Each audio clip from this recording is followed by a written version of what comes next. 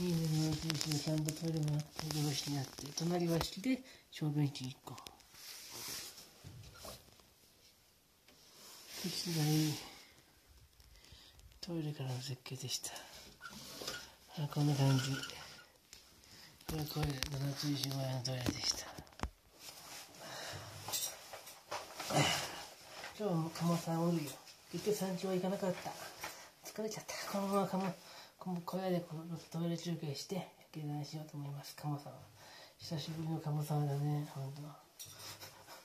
七つ石がさ、あれ予約制だってから来な来てないもんな。